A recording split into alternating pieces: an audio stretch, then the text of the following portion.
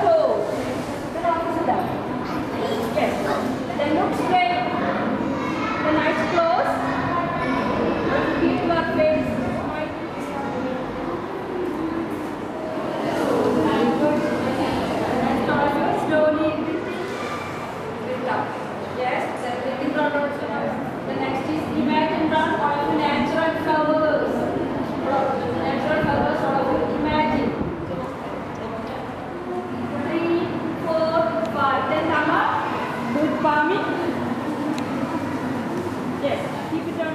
Then keep it on your face. Then once again.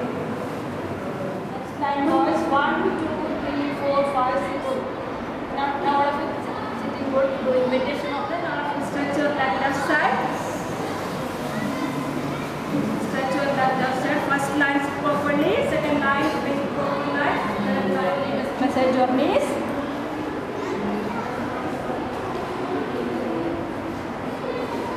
Yes. The next round is leg stretching round. All of you. hands. Eight. Then we'll change that side. Yes. One, two, three, four.